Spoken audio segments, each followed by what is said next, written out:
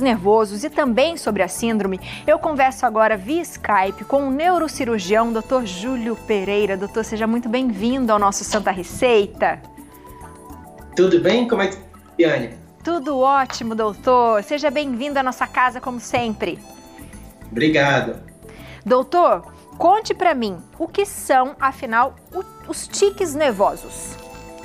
Isso. Tique é caracterizado, é uma doença em primeiro lugar, para as pessoas entenderem, porque antigamente se confundia como má vontade da pessoa, ela estava fazendo de forma consciente. Então é comprovadamente uma doença, então tem alterações no cérebro. Já existe ressonância funcional mostrando que tanto a parte cortical, como o sistema dopaminérgico, como os gânglios da base são locais no cérebro, eles estão alterados em pessoas que têm tique e também síndrome de Tourette, né? Então, basicamente é o que? É caracterizado por movimentos repetitivos, motores, né? Pode ser na face, então a pessoa pode fazer careta, a pessoa pode ter uma alteração do movimento do pescoço de um lado para o outro, né? Que a pessoa tem um certo controle, mas a vontade dela fazer aquele movimento é muito grande.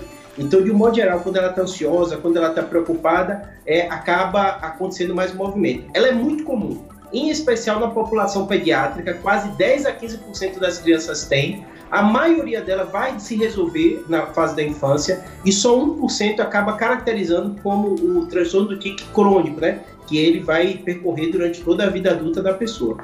Doutor, o senhor começou a falar agora que na fase pediátrica. Ah, tem uma idade, mais ou menos, que a gente consegue já observar se realmente é um tique ou não na criança?